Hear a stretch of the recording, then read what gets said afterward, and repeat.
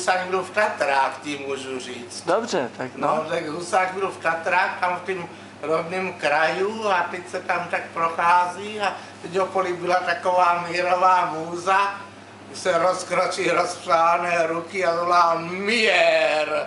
Za jsem se ozve Miery, ale nehýbaj se.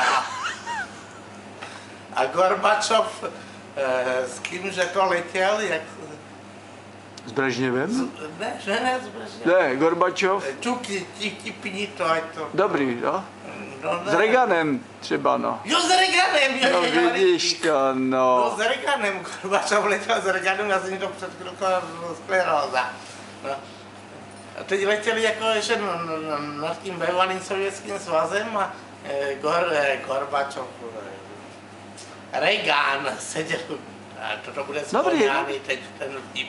Vypni to, Dobrý, já to no. natočím znovu. Dobrý, no. Ale ne, no, no, Už můžeš.